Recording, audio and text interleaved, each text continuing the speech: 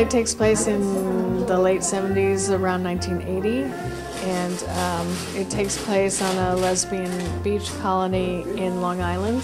It's a very private place that lesbians from New York uh, would go to have some uh, privacy. And it's about this colony being uh, intercepted essentially by uh, a straight woman. It's a classic comic situation of an outsider coming into a community and doesn't know what's going on. So it's that comic setup.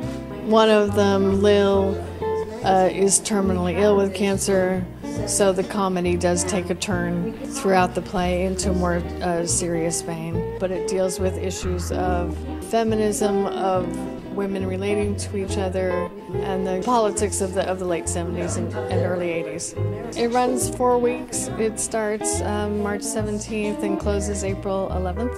It's a beautiful classic comedy with a great deal of heart and humor. It's a play about a woman finding strength and love while she's dying.